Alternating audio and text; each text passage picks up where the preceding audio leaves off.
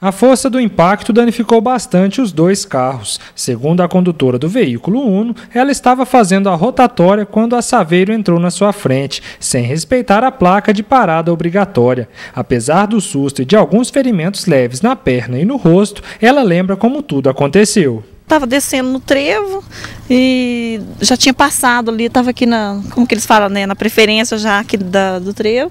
E ele veio, aí eu acho que ele acelerou para passar passar mais rápido, dar tempo, né? E bateu em mim. Na Saveiro estava apenas o condutor, Antônio Carlos Torres, de 51 anos. Durante o impacto, ele acabou batendo o corpo contra o volante e reclamava de dores no peito. Por isso, foi imediatamente levado para o pronto-socorro da cidade.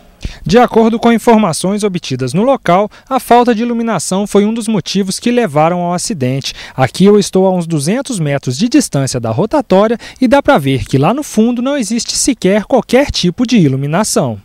Os postes de luz existentes na Avenida Valdomiro Cecílio Ribeiro são interrompidos na altura da rotatória, que, mesmo estando no perímetro urbano, está inserida na extensão da MG 450. Mas, segundo a condutora do Uno, mesmo faltando iluminação na via, o farol do seu carro estava aceso no momento do acidente. Eu estava com o farol aceso, né? E, ele, e a esposa dele acho que falou que ele não me viu.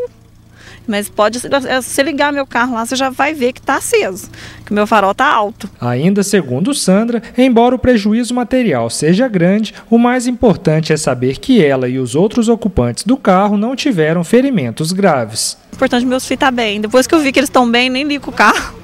Nem ligo, porque os dois estão bem, não machucou nada. Segundo os policiais rodoviários, foi emitida multa para o condutor da Saveiro, que cometeu infração grave ao não dar a preferência na rotatória. Além disso, ele perderá cinco pontos na carteira.